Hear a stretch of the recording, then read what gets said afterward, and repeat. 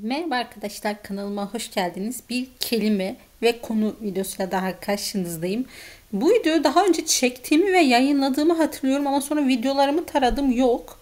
Allah Allah dedim iyi ki de e, silmemişim çünkü çekilen videolar e, kısmıyla ilgili bir Word dosyası var oraya atmışım. Neyse Allah'tan e, duruyor metin. Neyse başlayalım. Şimdi bu videonun konusu Es handelt von oder Es handelt sich um arasındaki fark ne demek?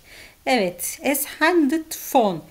Ee, es handelt von'un anlamı bunun konusu şudur. Yani das, das tema ist ve dativ ile e, kullanılır. Zaten size Türkçesinde ve Almancasında yazdım. İki tane de örnek cümle yazdım. Ee, pardon daha doğrusu bir cümle bir de Umschreibung yaptım. Yani yeniden yazdım. Das Märchen handelt von einem Kind, das keine Familie hat. Ne diyor? Bu e, hikayenin konusu ailesi olmayan bir çocuktur. Bakın çevirisi budur bunu cümlenin. Şimdi tekrardan temayla yazdım. Das Thema. Das Thema dieses Märchen ist ein Kind, das keine Familie hat. Bu hikayenin konusu ailesi olmayan bir çocuktur. Bakın bu. Şimdi biz bu cümleyi şöyle yazamayız. In diesem Märchen handelt von einem Kind, das keine Familie hat. Bu cümleyi bu şekilde yazamazsınız arkadaşlar. İngilizce mention olmaz.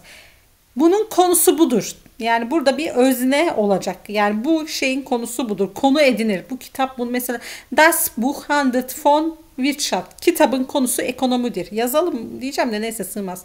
Ee, ya da Das Fernsehprogramm handelt von ee, ne diyelim fashion, kıyafet yani bu televizyonun konusu işte fashion'dır diyelim.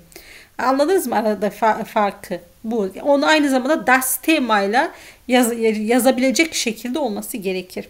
Peki eshalde tihum ne demek? Burada da söz konusudur. Bakın arada fark var. Örnek cümle yazdım. Bei dem Buch handelt es sich um eine sehr interessante Erzählung. Bu kitapta çok ilginç bir anlatım söz konusudur. Bakın dikkat edin kitabın konusu ilginç bir anlatımdır şeklinde ben bunu bu cümleyi çeviremem. Veya Es handelt sich um eine sehr interessante Erzählung. Bakın bu şeyi ben esle yazabilirim. Es handelt sich um eine sehr interessante Erzählung. Çok ilginç bir anlatım söz konusudur. Das Buch ist eine sehr interessante Erzählung.